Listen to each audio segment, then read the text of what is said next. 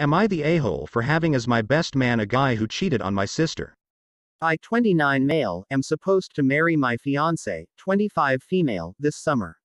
Now the problem comes from my sister, 27 female, who's mad about me having Mike, 29 male, as my best man.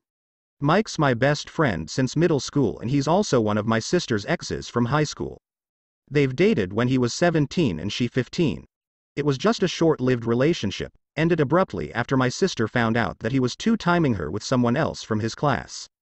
My sister was really heartbroken at the time, with Mike being her first love and all that and my relationship with Mike was also strained for the rest of high school, but he did eventually manage to patch things up between us.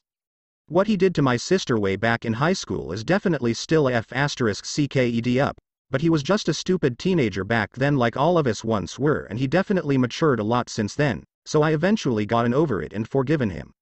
However, my sister didn't, as she's still hung up on me being friends with him and not only inviting to my wedding, but also making him my best man. She even threatened to not attend my wedding if I keep Mike as my best man, which I think is really unreasonable from her, as all she and Mike had was a very short high school relationship and she also has a fiance now, so she should have moved on by now, right?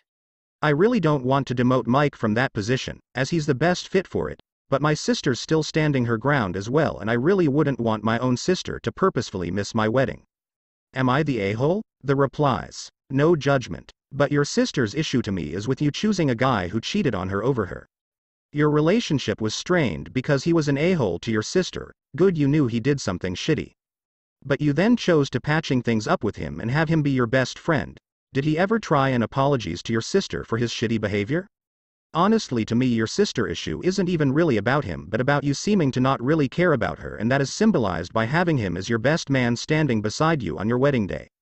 Second reply. You are the a-hole for minimizing her hurt over what happened with her in order to fit what you want. They were young, that doesn't mean how she felt and feels isn't valid. You can still have whoever you want as your best man but that does put her in a pretty crappy position and she would be justified in not going if that's what she chose to do. Third reply. You are the a-hole. It's your wedding. Your choice. But your sister is not an a-hole for refusing to be around someone who really hurt her. She's making her position clear, she wants to be able to avoid him at all costs.